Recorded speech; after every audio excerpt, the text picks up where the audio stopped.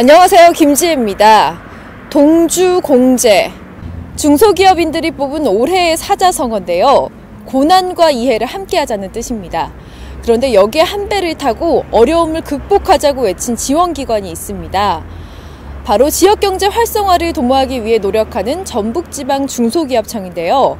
전라북도의 기업과 소상공인들의 현장의 소리에 귀 기울이는 전북지방 중소기업청. 오늘 이 안에서 어떤 지원과 업무가 이뤄지는지 자세히 알아보겠습니다.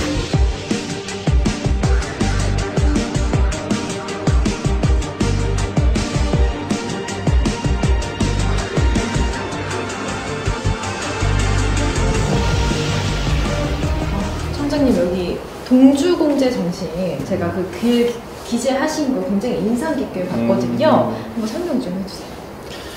동주 공채 이 뭐 사자성어로 보면 이제 같은 배를 타고 강을 같이 건넌다라는 뜻인데요. 아마 이게 그 우리 그 중소기업인들이 올해 그 정한 이제 사자성어인데 에, 경제 난국을 2016년도의 경제 난국을 함께 슬기롭게 헤쳐 나가자라는 그런 뜻으로 아마 어, 올해의 사자성어로 우리 중소기업인들이 정한 것 같습니다. 그래서 어, 이 동주 공지에 대해서 저도 우리 13만 전라북도의 중소기업인들과 같은 배를 타고 이 남국을 슬기롭게 헤쳐나가기 위해서 어, 이런 사자성어를 써본 겁니다. 예, 우리 전라북도는 전통 문화가 살아 숨쉬는 고장입니다.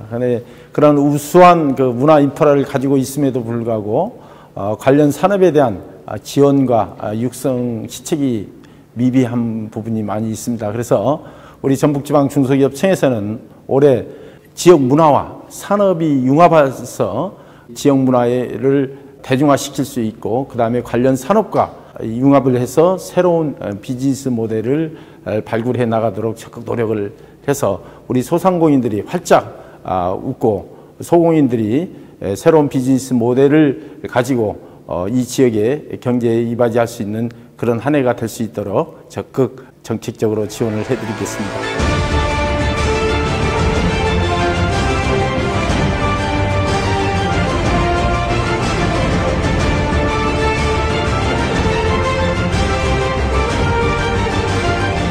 네, 저희 과에서 하는 업무를 소개하자면 먼저 중소기업 창업에 관련된 업무를 전반적으로 수행하고 있습니다. 대표적으로 창업보육센터와 창업선도대학을 지원하고 있으며 1인 창조기업 및 시니어 기술 창업 지원, 컨설팅, 정보화, 중소기업 건강관리 등 다양한 지원 사업을 추진하고 있습니다. 또한 기술력과 사업성은 있으나 자금이 부족한 중소기업에 자금을 지원하고 벤처 포럼을 통해 지역 유망 벤처기업을 발굴, 육성하여 지역 경제 발전에 보탬이 되도록 많은 노력을 기울이고 있습니다. 아, 그리고 기관 운영과 관련된 인사 업무라든가 회계, 청사 관리, 직원 복지 업무 등도 병행 추진하여 청사 직원들이 열심히 일하는 풍토도 조성하고 있습니다. 아, 창업과 관련된 애로사항이 있는 중소기업은 언제든지 전화 또는 방문하여 주시면 정성껏 도와드리도록 하겠습니다.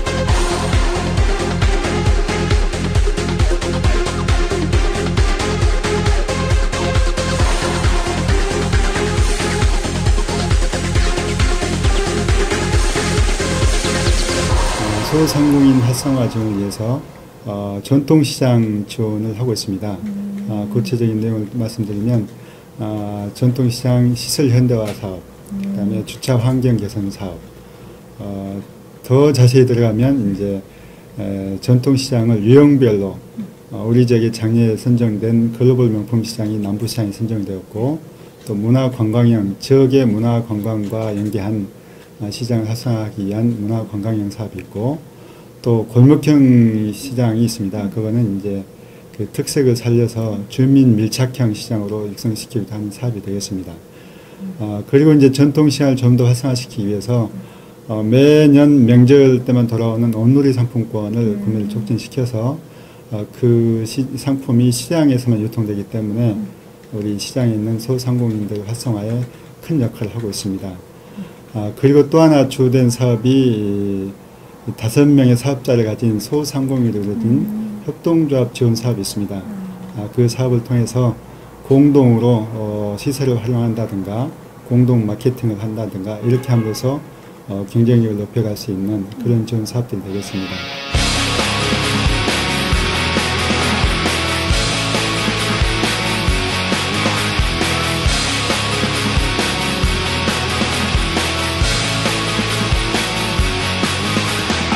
예, 여기는 어, 창업자나 일반인들이 아이디어를 사업할 수 있는 그런 공간입니다.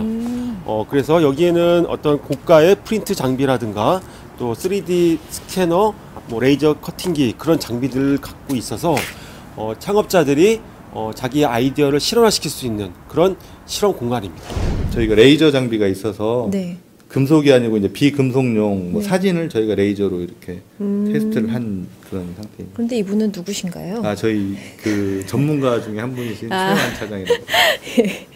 그렇군요. 아 여기 와서 이제 미리 제품을 만들기 전에 예, 시험용을 한번 테스트를 해볼 네, 수도 맞습니다. 있는 그런 공간이군요. 예. 그러면 그 이상도 가능하시고요. 야. 저희 이제 내부적으로 운영하는 저희 목적이 들어오실 때는 이제 머릿속에 담아서만 오시면 된다. 어, 나갈 때는 손에 뭔가를 결과물을 가지고 갈수 아. 있게 하는 그런 취지로 저희가 운영을 하고 있습니다. 예, 지금 기존 시제품 제작사하고는 다르게요. 저희는 이제 회로 개발 전문 인력이 배치가 돼 있어가지고요. 단순 3D 프린터로 하는 기- 기구적인 사양만 하는 게 아니라 실제로 움직이고 제어되고 디스플레이되고 할 수 있는 회로 설계부터 PCB 제작까지 저희 쪽에서 다 지원해주는 솔루션을 갖고 있습니다.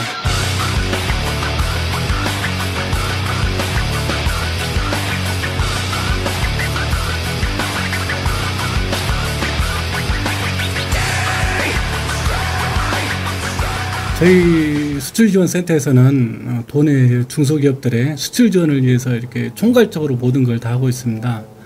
어, 구체적으로 들어가면 뭐 수출 초보 기업들이 좀 수출이 어려울 때 이렇게 어, 지원하기 위해서 수출 기업 초보 사업이라는 것도 하고 그다음에 요- 요새 FTA 타결 때문에 지금 중국으로 수출을 많이 지금 하고 있거든요. 그런 부분 때문에 그 중국 유학생을 활용해서도 지금 수출 지원을 지금 적극적으로 하고 있는 상황입니다. 그런 전반적인 수출 도내 수출 관련에 대한 모든 일을 총괄적으로 하고 있는 센터입니다. 지역 기업과 그리고 외부로 수출할 수 있는 여기서 중간 역할을 하는 거죠. 네 맞습니다. 모든 어, 도내 뭐 초보부터 해가지고 모든 분들이 좀 수출을 하고자 하는 분들은 여기 오시면은 여기에서 그런 교육이라든가 그쪽의 시장 상황 그런 모든 부분을 이렇게 에, 알아가지고 그 기, 어, 수출할 수 있도록 적극적으로 지원해주는 그런 부분입니다.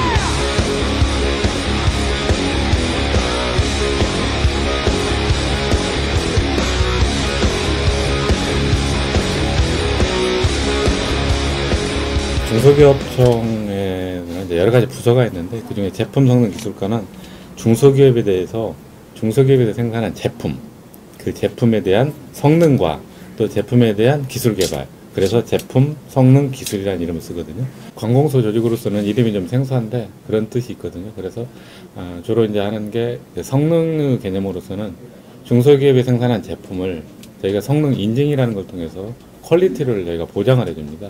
그렇게 됐을 경우 아, 관공서나 또는 공공기관 또는 일반인들이 물건을 살때 아, 성능 인증이라는 마크가 붙어 있으면 대한민국에서 가장 최고의 기술 개발품이다 이렇게 인정을 하시면 되겠습니다. 그런 성능 인증에 대한 그이 지원을 하고 있고 또 인정을 해주고 있으면 컨설팅이라든가 이런 걸 하고 있습니다. 또 하나는 중소기업의 그 기술에 대해서 이제 지원을 하는 건데 보통 R&D라고 표현을 합니다. 기술 개발에 필요한 자금을 저희가 지원을 하는데 저희가 22개 그 R&D 사업의 그 카테고리를 가지고 있어요. 그래서 예를 들면 여성기업 전용의 과제가 있다든가 창업기업의 전용의 과제가 있다든가 또는 우리나라에서 가장 그 중소기업 중에서 크다고 생각하는 월드클래스 300이라는 게 있습니다. 대한민국에 300개의 기업을 지원했는데 그런 기업에 대해서 뭐 1년에 75억씩 지원하는 그런 대규모 사업까지 그래서 저희가 다양한 그 22가지의 R&D 사업을 지원하는 그런 부서가 되겠습니다. 네, 오늘 전북 지방 중소기업청의 이곳저곳을 둘러봤는데요. 이 지역 기업과 소상공인의 성장을 위해서 적극 지원 아끼지 않는 모습을 볼 수 있었고요. 또 이 청사를 열린 공간으로 활용하기 위해서 애쓰시는 모습 엿볼 수 있었습니다. 네, 앞으로도 지역 경제 활성화를 위해서 더욱더 거듭나는 전북지방 중소기업청이 되길 기대합니다.